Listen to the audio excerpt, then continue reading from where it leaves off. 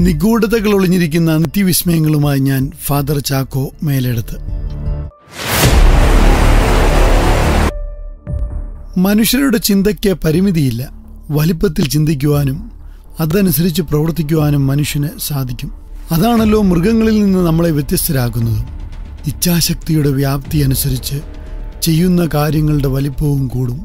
ഒരു ചൊല്ലുണ്ട് കുന്നോളം ആഗ്രഹിച്ചാലേ കുന്നിക്കുരുവോളം കിട്ടുമെന്ന് ചൈനയിലെ വൻമതിൽ the great wall of China. അങ്ങനെയാണെങ്കിൽ ചൈനയിലെ ഒരു ചക്രവർത്തി ചിങ്ഷി ഹ്യുയാങ് ടി എങ്ങനെയായിരിക്കും ചിന്തിച്ചത്? കുന്നിനു മുകളിൽ ആകാശത്തിന് മുകളിൽ ശൂന്യാകാശത്തോളം ചിന്തിച്ചു കാണും. ഒരു വല്ലാത്ത ചിന്തയായിപ്പോയി.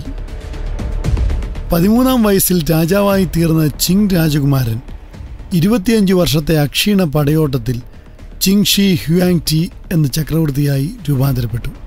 ക്രിസ്തുവർഷം ഇരുന്നൂറ്റി നാൽപ്പത്തി ആറിൽ ചക്രവർത്തിക്ക് തന്റെ സാമ്രാജ്യത്തിന് ചുറ്റും ഒരു മതിൽ പണിയണമെന്നുള്ള ഒരു മോഹമുദിച്ചു. കാരണം ചുറ്റുപാടുള്ള പ്രവിശ്യയിലെ രാജ്യങ്ങൾ തമ്മിൽ നിരന്തരം യുദ്ധമുണ്ടായിക്കൊണ്ടിരുന്നു അതിന് തടയിടുവാനും കൊള്ളക്കാരിൽ നിന്ന് സാമ്രാജ്യത്തെ സംരക്ഷിക്കുവാനുമായി ഒരു മതിൽ പണിയണമെന്ന് തന്റെ സൈന്യാധിപൻ മെക്ടൈനോട് ആവശ്യപ്പെട്ടു.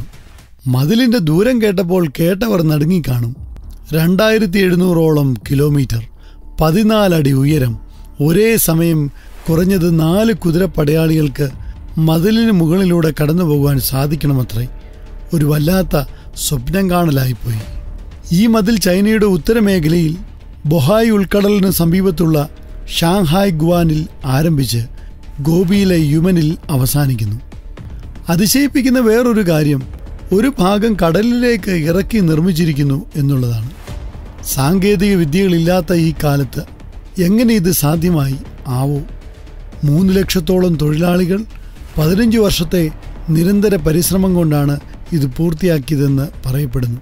പല ഭാഗങ്ങളിൽ പതിനാലടി നീളത്തിൽ നാലടി വീതിയിൽ രണ്ടടി കനത്തിൽ വലിയ കരിങ്കൽ തൂണുകളാണ് അടിസ്ഥാനമായി ഉപയോഗിച്ചിരിക്കുന്നത്.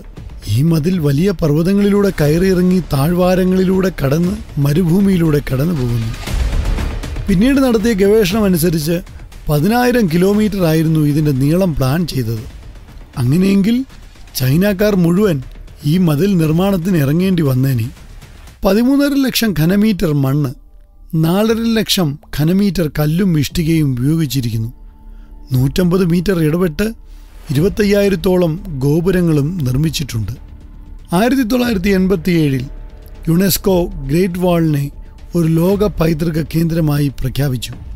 ഇരുപതാം നൂറ്റാണ്ടിൽ ഉയർന്നു വന്ന ഒരു അവകാശവാദം ചന്ദ്രനിൽ നിന്ന് ദൃശ്യമാകുന്ന ഒരേ ഒരു മനുഷ്യനിർമ്മിത വസ്തു ഈ ഗ്രേറ്റ് വോൾ ആണ് എന്നതായിരുന്നു.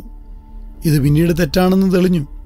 എന്തുതന്നെ ആയാലും വൻമതിൽ ഇന്ന് മനുഷ്യചരിത്രത്തിലെ ഏറ്റവും ശ്രദ്ധേയമായ വാസ്തുവിദ്യ വിജയമായി കണക്കാക്കപ്പെടുന്നുണ്ട്.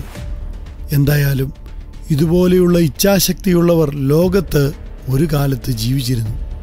വലുതായി ചിന്തിക്കുമ്പോൾ സഹജീവികളെ അല്പം മനുഷ്യത്വപരമായി കരുതി വലുതായി ചിന്തിച്ചാൽ അത് കൂടുതൽ മഹത്തരമാകും. അതിന് അല്പം കൂടി സൗന്ദര്യം കൂടും.